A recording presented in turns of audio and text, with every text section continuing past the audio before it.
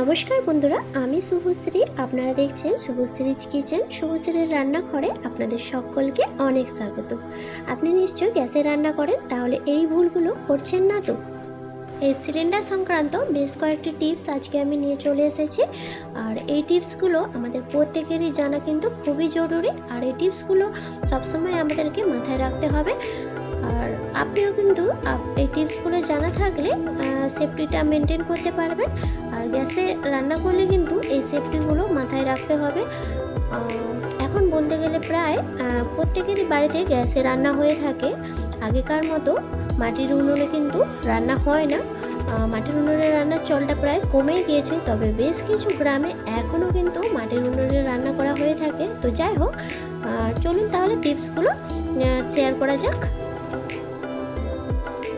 দেখতে পাচ্ছেন এখানে আমি একটা গ্যাসের সিলিন্ডার নিয়েছি। এখানে লেখা রয়েছে check seal and weight on delivery যখনই আপনাকে ডেলিভারি ম্যান গ্যাসটা ডেলিভারি করতে আসবেন তখন আপনি অবশ্যই এই সিলিন্ডারটা চেক করে নেবেন যে সিলিন্ডারের মুখে যে একটা সিল করা থাকে, ওটা সিল রয়েছে কিনা।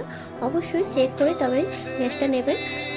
ডেলিভারি করার সময় এটা কিন্তু মাথায় রাখতে হবে। তা গ্যাস সিলিন্ডারটা চেক মানে সিল করা রয়েছে কিনা, এটা আপনি চেক করে নেবেন।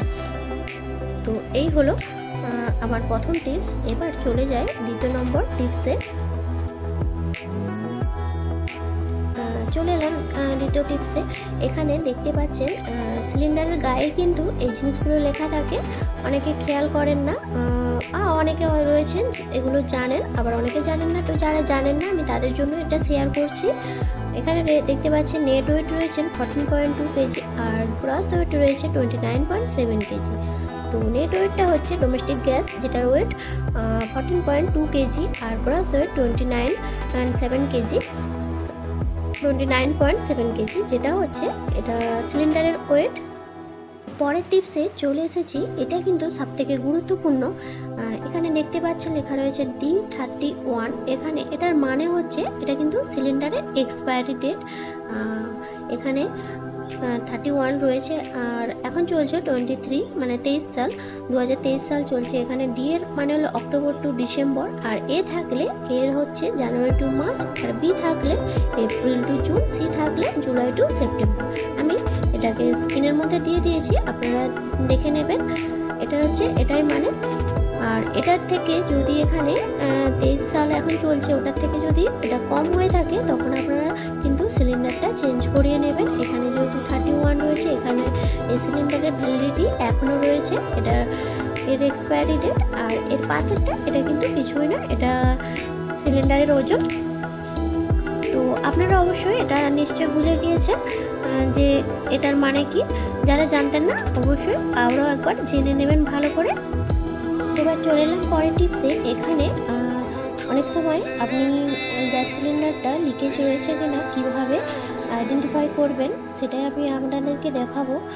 আর এখানে দেখেছেন, গ্যাস সিলিন্ডার খোলার সময় দেখবেন এইভাবে হালকা হাতে টান দেবেন, দেখবেন খুলে যাই হোক, চলুন কীভাবে আইডেন্টিফাই করবেন লিকেজ রয়েছে কিনা। আমি এখানে দেখতে পাচ্ছেন, বাড়িতে করে জল নিয়েছি কিছুটা। জল নিয়ে এর মুখের মধ্যে দিয়ে দিয়েছি এই গ্যাসের সিলিন্ডারের মুখটাতে।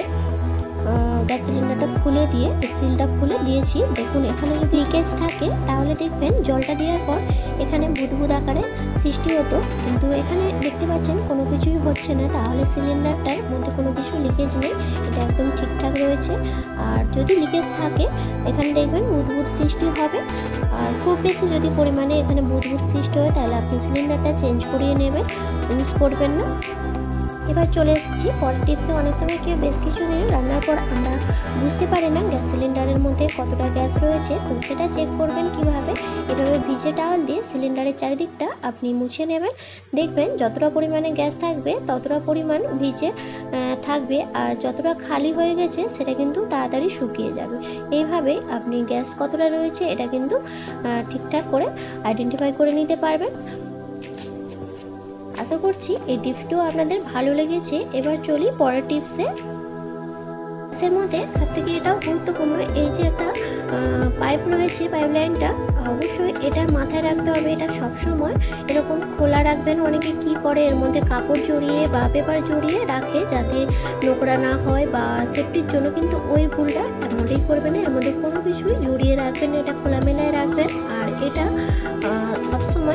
করবেন? কখনো কোনো কিছু লিকেজ রয়েছে কিনা? যদি লিকেজ থাকে, তাহলে এটা আপনি চেঞ্জ করিয়ে নেবেন গ্যাস অফিস থেকে। তো এই জিনিসটা আপনাদেরকে সবসময় মাথায় রাখতে হবে। এইভাবে আপনারা বারবার চেক করে দেখে নেবেন জিনিসটা ঠিক আছে কিনা। তো এবার চলে যাই পর টিপসে এখানে কি হয়, আমি অনেকের বাড়িতে দেখেছি যখন গ্যাস শেষ হয়ে যায় তখন সিলিন্ডারটাকে এইভাবে হেলিয়ে রেখে রান্না করেন। কিন্তু এই ভুলটা করবেন না, এতে কি হয়, বিপদ হওয়ার সম্ভাবনা থাকে।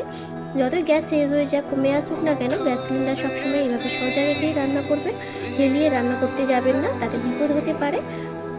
তো তাহলে এবার থেকে চেষ্টা করবেন গ্যাস সিলিন্ডার সবসময় এইভাবে সোজা রেখে রান্না করার। আশা করছি আপনারা বুঝতে পেরেছেন। আর নিজেরাও সতর্ক থাকবেন, আর অপরকেও এইভাবে সতর্ক করিয়ে দেবেন। তো এবার চলে যায় পরের টিপসে।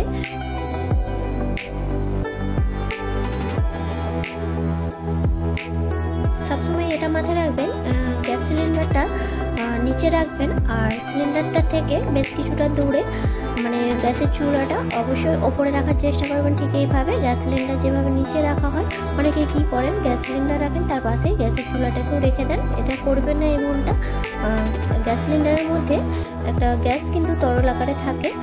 আর এইভাবে রাখলে কিন্তু চুলাটা যদি ওপরে রাখেন, তাহলে গ্যাসের ফ্লোটা ভালো হয়।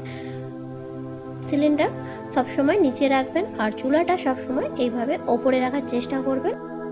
সিলিন্ডারের কাছাকাছিও কিন্তু রাখবেন না গ্যাস সিলিন্ডার আর ওভেন সবসময় দূরত্বটা যেন যতটা গ্যাসের পাইপের যে পাইপটা রয়েছে ওটার মতনই, মতো দূরত্ব রাখতে হবে আপনাদেরকে। চুলা আর সিলিন্ডার তাহলে আলাদা আলাদা। ওপরে গ্যাস চুলা আর সিলিন্ডার নিচে রাখতে হবে। আর যখন রান্না করবেন তখন কিন্তু কিচেনে আপনার যতগুলো জানালা দরজা থাকবেন, সবগুলোই কিন্তু খোলামেলা রাখতে হবে। তাহলে কিন্তু আপনি একটা সেফটি মেনটেন করতে পারবেন। সেফটি থাকবে। কখনোই বন্ধ করে কিচেনে রান্না করতে যাবেন না। এইভাবে জানালার পাশে খোলা মেলা জানালার পাশে গ্যাস সিলিন্ডারটা রাখবেন।